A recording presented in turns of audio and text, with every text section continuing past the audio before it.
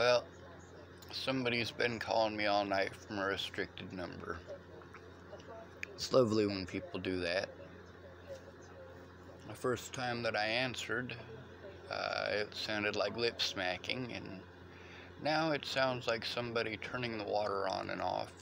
Like dripping water, not like a faucet going full blast. I'm pretty used to shit like this. Usually it's uh, somebody calling me up to either say absolutely nothing or they threaten to kill me. This time they've called me 23 times, and although nobody's threatened to kill me in those 23 calls, it, it does get kind of fucking annoying. I'm used to this shit though. I'm used to cowards doing shit like this, and I do mean cowards.